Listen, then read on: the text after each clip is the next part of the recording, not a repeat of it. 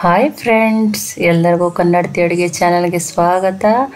ರಾಜ್ಮಾ ಅಥವಾ ಇವು kidney beans ಅಥವಾ ಬೀನ್ಸ್ ಅಂತ ಏನು ಕರಿತೀವಿ ನೀವು ಯೂಸ್ ಮಾಡಿಕೊಂಡು ಎಷ್ಟೋ ರೆಸಿಪಿ ಮಾಡಿರ್ತೀರ.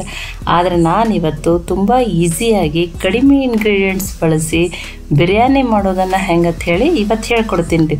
ತುಂಬ ಹೊಸ ಸ್ಟೈಲಲ್ಲಿ ಮತ್ತು ಈಸಿ ರೆಸಿಪಿಯನ್ನು ನಾನಿವತ್ತು ನಿಮ್ಗೆ ಹೇಳ್ತಾ ಇದ್ದೀನಿ.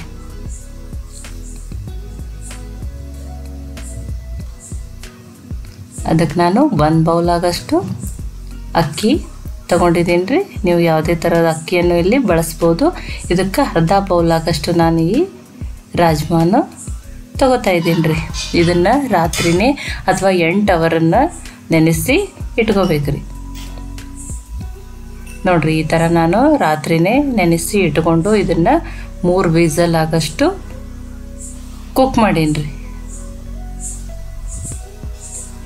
ನೋಡ್ರಿ, ಈ ಥರ ಇವು ಕುದಿಸಿ ನಾನು ಇಟ್ಕೊಂಡಿದ್ದೀನಿ. ಈಗ ಒಂದು ಕುಕ್ಕರ್ಗೆ ಎರಡು ಸ್ಪೂನ್ ಆಗಷ್ಟು ಆಯಿಲು ಮಸಾಲೆ ನೋಡ್ರಿ. ನಾನು ನಾಲ್ಕಷ್ಟು ಲವಂಗ, ಒಂದು ಹತ್ತರಿಂದ ಹನ್ನೆರಡು ಕಾಳಷ್ಟು ಕಾಳು ಮೆಣಸು ಎರಡು ಏಲಕ್ಕಿ, ಒಂದು ಸ್ಪೂನ್ ಆಗಷ್ಟು ಜೀರಿಗೆ ಒಂದು ಪಲಾ ಎರ್ ಒಂದು ಅಥವಾ ಎರಡು ಪಲಾವ್ ಎಲೆ ಒಂದೆರಡು ಒಣ ಮೆಣಸಿನ್ಕಾಯಿ ಸ್ವಲ್ಪ ದಾಲ್ಚಿನಿಯನ್ನು ತಗೋತಾ ಇದ್ದೀನಿ ರೀ ಈ ಎಲ್ಲ ಮಸಾಲೆಗಳನ್ನು ನಾನೀಗ ಹಾಕ್ತಾ ಇದ್ದೀನಿ ರೀ. ಇದನ್ನು ಚೆನ್ನಾಗಿ ಫ್ರೈ ಮಾಡೋಣ ರೀ.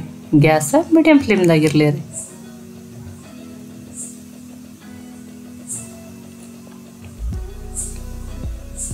ಈಗ ಒಂದು ಆನಿಯನನ್ನು ಈ ಥರ ಸ್ಲೈಸ್ ಮಾಡಿ ಹಾಕೋತಾ ಇದ್ದೀನಿ ರೀ. ಇದನ್ನು ಚೆನ್ನಾಗಿ ಫ್ರೈ ಮಾಡೋಣ ರೀ.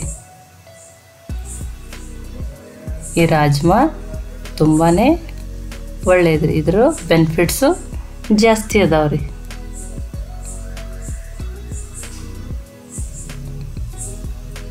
ಇದಕ್ಕೆ ನಾನು ಒಂದು ಸ್ಪೂನ್ ಆಗಷ್ಟು ಜಿಂಜರ್ ಗಾರ್ಲಿಕ್ ಪೇಸ್ಟನ್ನು ಹಾಕ್ತಾ ಇದ್ದೀನಿ ರೀ.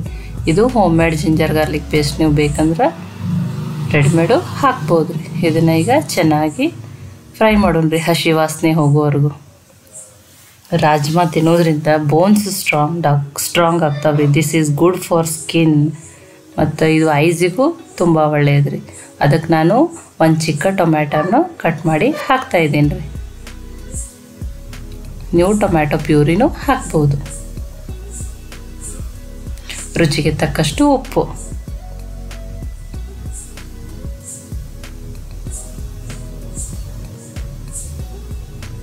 ನೋಡ್ರೀಗ ಚೆನ್ನಾಗಿ ಫ್ರೈ ಮಾಡಿದ್ದೀನಿ ರೀ. ಇದನ್ನೊಂದು ಎರಡು ನಿಮಿಷ ಆಗಷ್ಟು ಕುಕ್ ಮಾಡೋಣ ರೀ. ಟೊಮೆಟೊ ಎಲ್ಲ ಕುಕ್ ಆದಮೇಲೆ ಸಾಫ್ಟ್ ಆಗ್ತಾವೆ ರೀ.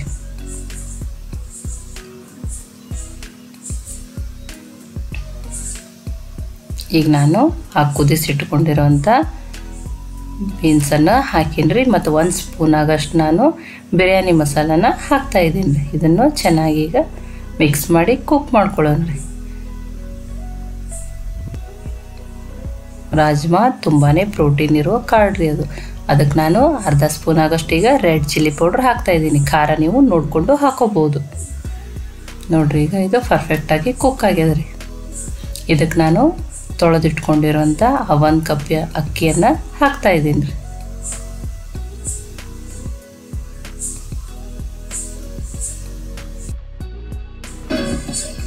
ಇದಕ್ಕೆ ನಾನು ಒಂದು ಸ್ಪೂನ್ ಆಗಷ್ಟು ತುಪ್ಪನ ಹಾಕತ್ತೀನಿ ರೀ. ಇದು ಟೇಸ್ಟ್ ತುಂಬಾ ಚೆನ್ನಾಗಿ ಕೊಡ್ತದೆ ರೀ ಇದನ್ನು ಈಗ ಚೆನ್ನಾಗಿ ಮಿಕ್ಸ್ ಮಾಡ್ಕೊಂಡಿದ್ದೀನಿ ರೀ. ಸ್ವಲ್ಪ ಲೆಮನ್ ಜ್ಯೂಸು ಇದು ಆಪ್ಷನಲ್ ನೀವು ಬೇಕಂದ್ರೆ ಹಾಕೋಬೋದು, ಇಲ್ಲಾಂದರೆ ಬಿಡ್ಬೋದು. ಈಗ ಒಂದು ಕಪ್ ಅಕ್ಕಿಗೆ ನಾನು ಎರಡೂವರೆ ಕಪ್ ಆಗಷ್ಟು ನೀರನ್ನು ಹಾಕ್ತಾ ಇದ್ದೀನಿ ರೀ. ಇದರಿಂದ ಅನ್ನ ತುಂಬಾ ಉದುರುದ್ರಾಗಿ ರೆಡಿ ಆಗ್ತದೆ ರೀ ನೀವು ಮೆತ್ತಗೆ ತಿನ್ನೋರು ಮೂರು ಕಪ್ಪನ್ನು ಹಾಕೋಬೋದು ಇದನ್ನು ನಾನೀಗ ಮೂರು ವಿಸಲ ತಗೊಂಡಿದ್ದೀನಿ. ನೋಡ್ರಿ, ಇದು ಈಗ ಪರ್ಫೆಕ್ಟಾಗಿ ಕುಕ್ ಆಗ್ಯದ ರೀ ಕನ್ನಡತಿ ಅಡುಗೆ ಚಾನಲನ್ನು ಸಬ್ಸ್ಕ್ರೈಬ್ ಮಾಡಿ ಬೆಲ್ ಐಕಾನ್ ಪ್ರೆಸ್ ಮಾಡಿ.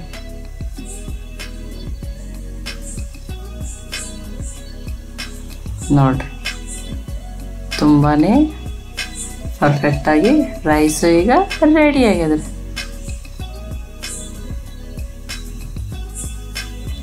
ಈ ರೆಸಿಪಿ ಇಷ್ಟ ಆಗಿದ್ರೆ ಲೈಕ್ ಮಾಡಿ ಶೇರ್ ಮಾಡಿ ಕಮೆಂಟ್ ಮಾಡಿರಿ. ಮತ್ತೆ ಒಳ್ಳೆ ಒಳ್ಳೆ ರೆಸಿಪಿ ಜೊತೆ ಸಿಗೋಣ.